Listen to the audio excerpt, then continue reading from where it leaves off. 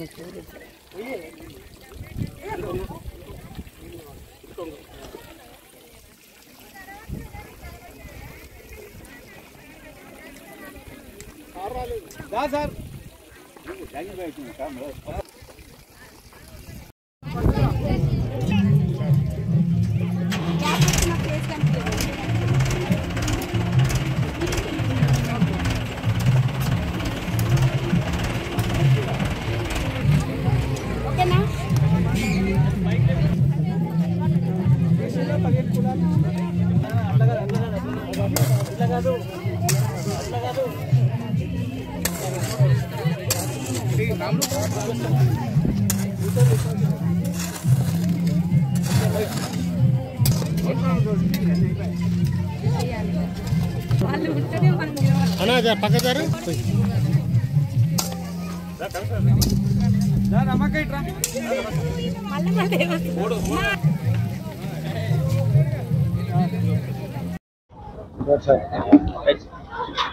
నేడు తెలంగాణ అవతరణ దశాబ్ది ఉత్సవాలను పురస్కరించుకొని ఈరోజు పంతొమ్మిదవ తారీఖు నాడు హరితోత్సవం జరుపుకోవడం జరుగుతుంది. మన ఘట్కేశ్వర్ మున్సిపాలిటీలో ఏడు వందల మొక్కలతో ఈరోజు ఈ కార్యక్రమాన్ని ప్రారంభించడం జరిగింది. అలాగే విశేషం ఏంటంటే ఈ రోజు నుంచి తొమ్మిదవ విడత హరిత హరితహారం ప్రోగ్రాం స్టార్ట్ అవుతుంది. తొమ్మిదవ విడత హరితహారం కార్యక్రమం స్టార్ట్ అయింది. ఈ సంవత్సరానికి కానీ తొమ్మిదవ విడతకు గాను మన ఘట్కేశ్వర మున్సిపాలిటీకి రెండు లక్షల మొక్కలు నాటడానికి ప్రభుత్వం వారు టార్గెట్ ఇవ్వడం జరిగింది. దానికి సరిపడా మనకున్న ఆరు నర్సరీలలో మనం రెండు లక్షల మొక్కలని కూడా సిద్ధంగా ఉంచుకోవడం జరిగింది.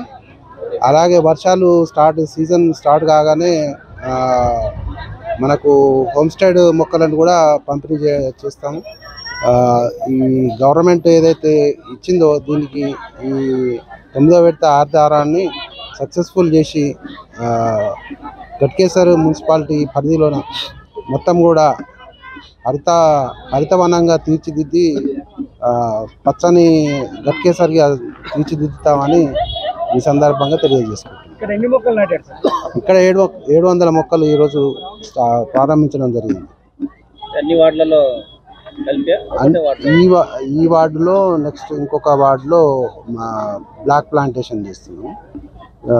వర్షాల కారణంగా దానికి టార్గెట్ని తగ్గించడం జరిగింది.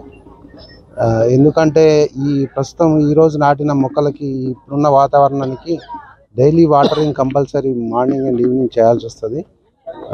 కాబట్టి ఎక్కువ మొక్కల్ని ఇప్పుడు చేపట్టలేకపోతున్నాం. సీజన్ రాగానే పెద్ద ఎత్తున వేల సంఖ్యలో మొక్కల మొక్కలు నాటడం ప్రారంభించి ఈ సంవత్సరానికి ఇచ్చిన రెండు లక్షల టార్గెట్ని కంప్లీట్ చేస్తాము మన నర్సరీలలో నర్సరీలలో కూడా రెండు లక్షల మొక్కలు మాకు సిద్ధంగా టాల్ ప్లాంట్స్ ఉంటుందా? ఈ రెగ్యులర్గా ఉంటుంది. ఈ- ఈ వర్షాకాలం సీజన్ మొత్తం కూడా. కాకపోతే సీజన్ని బట్టి